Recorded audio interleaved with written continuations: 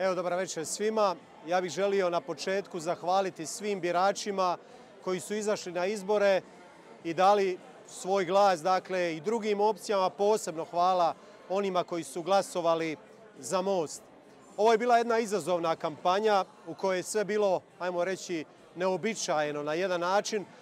Kampanja koja je bila jako kratka, u kojoj nismo dobili dovoljno prostora zbog ovog prepucavanja dva brda da predstavimo sve svoje politike i programe, ali kampanja koja je pokazala da most ostaje jedan od najvažnijih faktora na hrvatskoj političkoj sceni.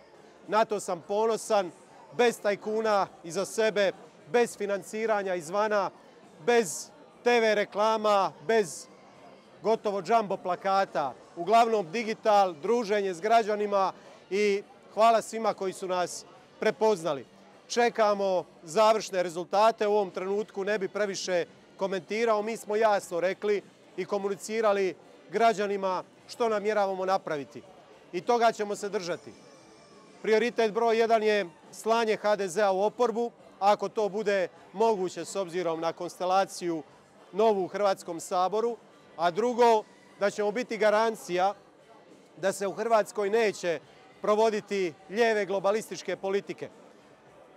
dobili smo povjerenje puno glasača one stare ljevice koje je dosta vouk ideologije ovoga, ovih stvari suludi koje nam dolaze sa zapada i to će postojati sve važnije teme u hrvatskoj politici. Mož će biti snažna, suverenistička, antikorupcijska opcija od centra na desno, jedina prava, jedina autentična, jedina iza koje ne stoje tajkuni, sumnjivi i mutni interesi. Vrijeme će to pokazati, ja sam upozoravao građane, ali nekad se treba naučiti na greškama.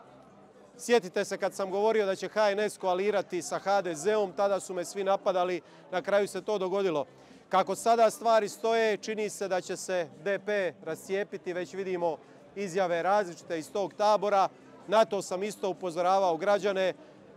Sami su birali, vidjet ćemo što će biti. Ali ono što je sigurno, ostajemo relevantna snaga na političkoj sceni, jedina čvrsta opcija, jedini armirani beton, jedini ljudi koji se ne da potkupiti na bilo koji način. Branit ćemo interese naroda, bit ćemo uvijek na njihovoj strani kao što smo bili i u protekle četiri godine. Evo vam, hvala vam i još jednu stvar želim reći.